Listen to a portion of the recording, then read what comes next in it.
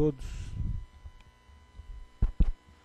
Bom dia a todos. Então, vamos dar início à nossa quarta reunião pública ordinária da diretoria. Temos cor de quatro diretores, portanto, aptos a deliberar. Temos a ata da terceira reunião pública para aprovar. Dados dos diretores tem alguma observação? Não tendo, considera aprovada a ata da terceira reunião pública ordinária. Solicito o secretário que anuncia a sequência que vamos deliberar os itens da pauta. Inicialmente informo que os itens 16 e os itens de 28 a 32 foram retirados de pauta. Informo também a nova ordem, qual foi aprovada pelo diretor-geral, que são dos itens de 1 a 6, e na sequência os itens 9, 12, 17, 18, 20, 33 e 37. De forma que passa a chamar o item de número 1, processo 48.500, 4602-2010-10 e 4616-2010-25. Postergação do prazo estabelecidos pelas resoluções autorizativas 2.879 de 2011 e 3.689 de 2012 para a entrada em operação dos seccionamentos das, da linha de transmissão Palhoça em Bituba, em 138 kV, na subestação Palhoça Pinheira, e da linha de transmissão Palhoça Jorge Lacerda A, em 138 kV, na subestação Garopaba. Diretor relator, doutor André Peptoni.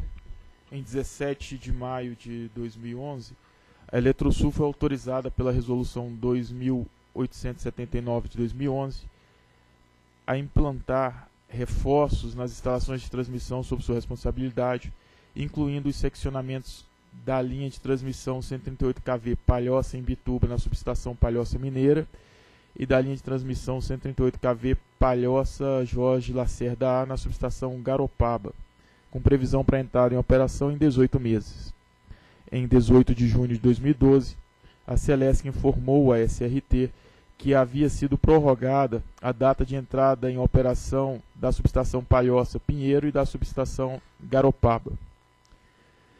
Pela resolução 3689 de 2 de outubro de 2012, a ANEL prorrogou então o cronograma de implantação dos seccionamentos autorizados pela resolução 2879 de 2011, passando a operação comercial do, do empreendimento relacionado e atribuído à execução a Eletrosul para abril de 2013 e novembro de 2013.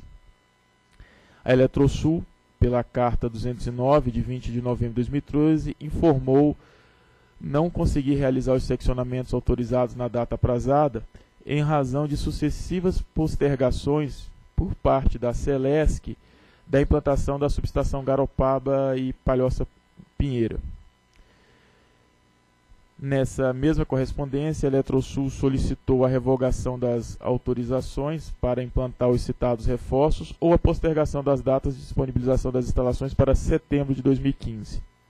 Em 3 de dezembro de 2013, a SRT, pelo ofício 266, requereu que a Celesc confirmasse a necessidade de implantação das subestações, bem como informasse a data prevista para a entrada em operação comercial dessas, dessas duas instalações. E a Celesc o fez em 17 de dezembro, onde informou que o cronograma de implantação dos empreendimentos atrasaram e a entrada em operação comercial da subestação Garopaba ocorrerá em dezembro de 2015 e da subestação Palhoça Pinheira em dezembro de 2014. Assim, em 8 de janeiro, de 14, a SRT emitiu a nota técnica número 6, na qual examinou o novo pedido de postergação de prazo e recomendou o seu deferimento, tendo em vista que a instalação da Eletrosul só pode ser executada tendo em vista a execução pela Selex que das duas subestações. É o relatório. Procuradoria. Trata-se de pedido de prorrogação, de prorrogação de prazo para implementação de algumas obras decorrente de resoluções autorizativas da ANEL. A matéria é disposta no artigo 17 da Lei 9.074 e artigo 6 e 7 do Decreto 2335, matéria de competência da ANEL e discricionalidade da diretoria. Entende, portanto, a Procuradoria que a matéria está em condições de ser deliberada.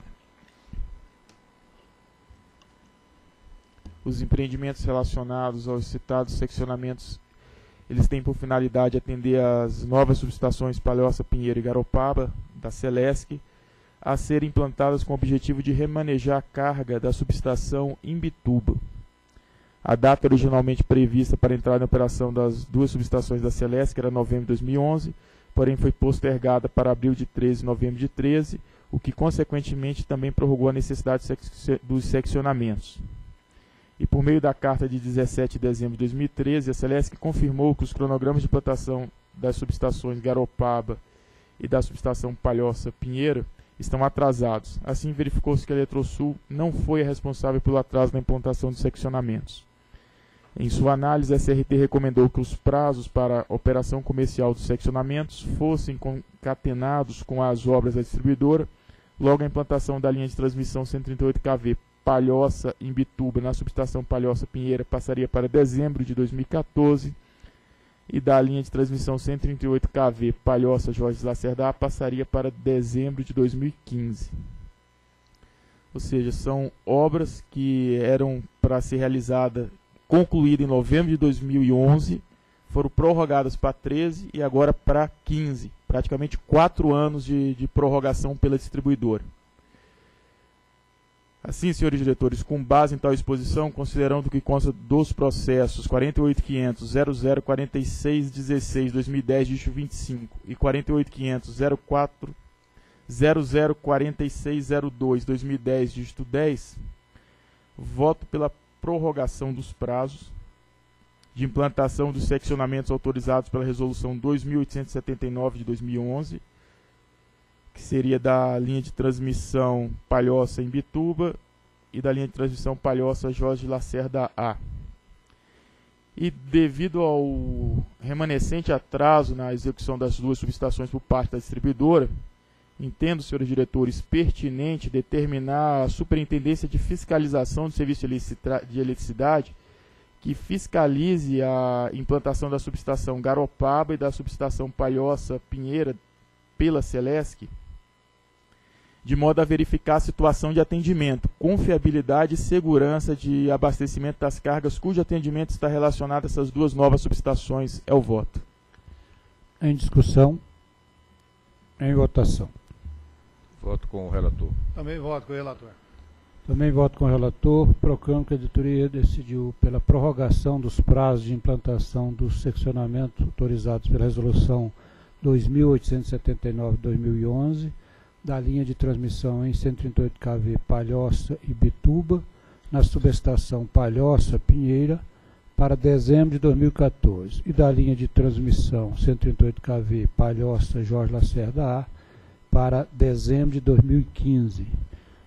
Decidiu ainda determinar que a SFE fiscaliza a implantação das subestações Garopaba e da SE Palhoça Pinheira, pela Celesc, de modo a verificar a situação do atendimento, confiabilidade e segurança de abastecimento dos cargos cujo atendimento está relacionado a essas duas novas subestações. Próximo item.